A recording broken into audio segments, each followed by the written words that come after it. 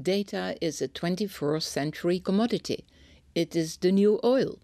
There is almost no limit to the economic and social wonders it can generate.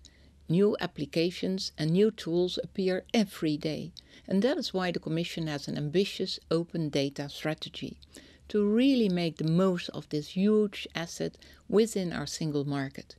Here are four things we are doing in particular.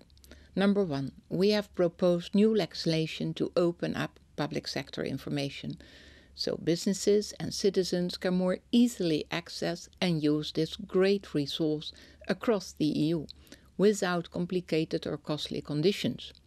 For the first time, the scope also includes cultural institutions, and the Commission will be practicing what it preaches by putting our own data on a single online portal with free and easy access. All this takes a big cultural change, but I'm confident that the countries of the EU can look ahead to the huge opportunity and support our proposal. After all, opening up public sector data could generate economic gains around 40 billion a year, and that's not something anyone can ignore right now. The second place, you may be aware of exciting recent developments for cultural open data. Over recent years, the EU has promoted Europeana as the access point for Europe's libraries, museums, galleries, and archives. It is a treasury trove of cultural heritage and a creative hub.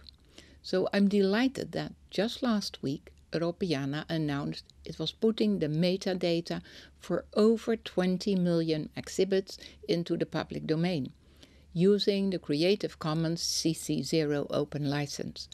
This is a step change in open data access and an international first moving away from a closed and controlled approach to this kind of data to one based on large scale, free reuse, where you can link it up, for example, with tourism or broadcasting data and find ever more creative uses.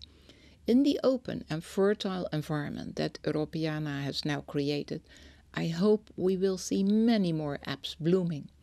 Just imagine the new applications for libraries, schools, or hotels, all powered by Europeana.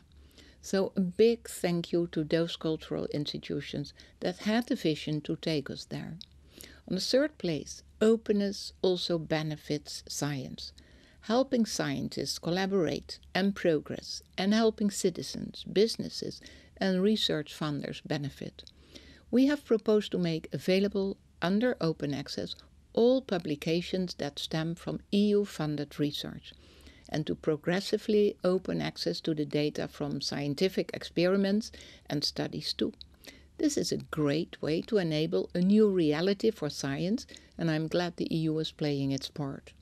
In the fourth place, we will of course continue to support research related to open data, like the LOD2 project using open source software to help people publish linked data. Likewise, over the next two years, we will invest 45 million euros on open access infrastructures for science and on digital preservation.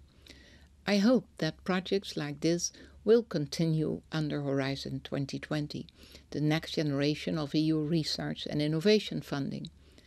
I know you at the OK Festival don't need convincing about the benefits of openness, nor about the huge innovation that it can fuel.